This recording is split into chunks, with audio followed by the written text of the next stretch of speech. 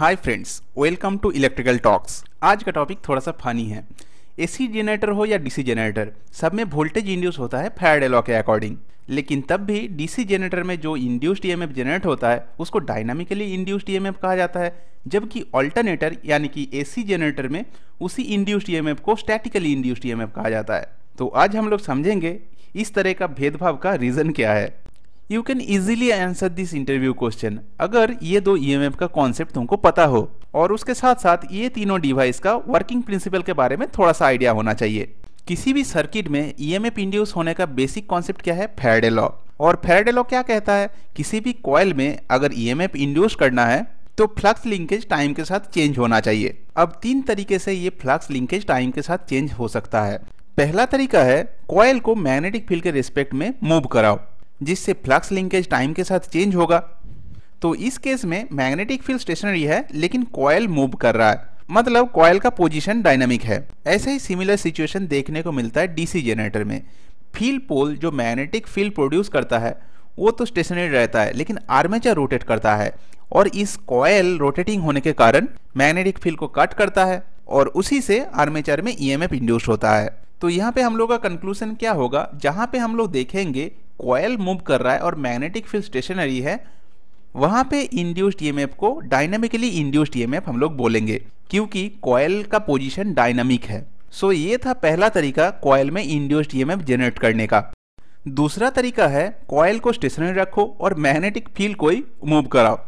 इस तरीके से भी इस कॉयल में ईएमएफ जनरेशन पॉसिबल है लेकिन यहाँ पे कॉयल का पोजीशन स्टैटिक है कॉयल मूव नहीं कर रहा है। और ऑल्टरनेटर में ईएमएफ इंड्यूस कैसे होता है? ऑल्टरनेटर में आर्मेचर रहता है स्टेटर में। तो जब हम लोग ऑल्टरनेटर को टरबाइन के थ्रू घुमाते हैं तो मैग्नेटिक फ़ील्ड खुद घूमता है आर्मेचर स्टेशनरी रहता है। और आर्मेचर कॉयल स्टेशनरी होने के कारण इसमें जो ईएमएफ इंड्यूस होता है, उसको स्टैटिकली इंड्यूस्ड ईएमएफ कहा जाता है। अब ये तीसरा तरीका बहुत ही इंटरेस्टिंग है। इसमें देखो, ना तो कॉयल मूव करेगा, ना तो मैग्नेटिक फ़ील्ड दोनों के बीच में रिलेटिव मोशन होगा ही नहीं, तब भी ईएमएफ इंड्यूस्ड होगा। हम लोग को बस चाहिए फ्लक्स लिंकेज टाइम के साथ चेंज हो।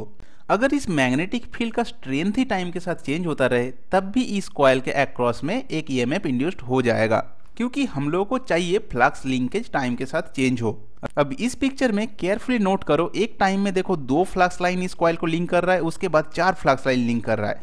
तो टाइम के साथ फ्लक्स लिंकेज तो चेंज हो ही रहा है, और इस तरीके से काम करता है ट्रांसफॉर्मर ट्रांसफार्मर में हम लोग जब एसी सप्लाई देते हैं ऑल्टरनेटिंग करंट फ्लो करता है जिसके कारण ट्रांसफार्मर कोर में जो फ्लक्स जनरेट होता है वो भी टाइम के साथ चेंज होता रहता है जिससे ट्रांसफार्मर का कॉयल में ईएमएफ इंड्यूस होता है। सो so, इस तरीके से जो ईएमएफ इंड्यूस्ड हुआ उसको कौन सा ईएमएफ बोलोगे? स्टैटिकली इंड्यूस्ड ईएमएफ ना डायनामिकली इंड्यूस्ड ईएमएफ क्योंकि कॉयल भी मूव नहीं कर रहा है मैग्नेटिक फ़ील्ड भी मूव नहीं कर रहा है ना? यहाँ पे कंफ्यूज होने का कोई बात ही नहीं, क्योंकि ये जो नोमेन है स्टैटिकली डायनामिकली ये कॉयल को देखते हुए किया जाता है, ना कि मैग्नेटिक फ़ील्ड को। तो इस केस में कॉयल तो स्टेशनरी है तो ट्रांसफॉर्मर में जो ईएमएफ इंड्यूस्ड होगा, वो स्टैटिकली इंड्यूस्ड ईएमएफ ही होगा। I hope you have enjoyed the concept now it's quiz time जो कॉन्सेप्ट तुम लोग इस वीडियो से समझे, उससे इस क्वेश्चन का आंसर देने का ट्राई करना। E M F induced in induction generator will be statically induced EMF और डायनेमिकली इंड्यूस्ड ईएमएफ सो दिमाग लगाओ और आंसर सोचो। तो चलो मिलते हैं अगले वीडियो में। That's all for now